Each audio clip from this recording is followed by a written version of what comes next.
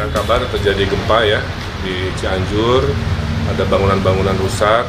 Eh, tentunya secepatnya saya akan ke sana untuk melihat kondisi, tapi saya turut prihatin dan mudah-mudahan eh, tidak banyak korban, eh, baik harta maupun jiwa dan eh, kita terus waspada karena biasanya eh, gempa ini saling susul menyusul.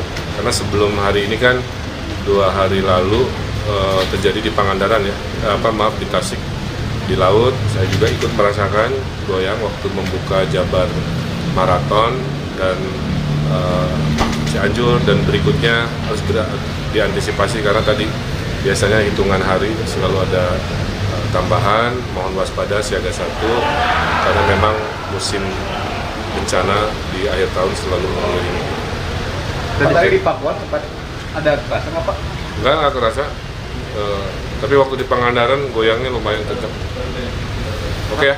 himbauan buat eh, masyarakat Pak, di luar dulu atau gimana Pak mungkin ini kan Enggak, kalau, kalau gempa sudah ada SOP-nya ya. Eh, pada saat gempa ambil posisi aman, ya sudah dilatih. Kemudian eh, kalau sudah merasa bisa lari ke lapangan terbuka, tentunya eh, apa disegerakan di posisi yang paling aman. Tapi pada saat terjadinya gempa, kalau bisa ke, ke tempat yang aman, ambil posisi bracing eh, di tempat yang paling mudah dilindungi.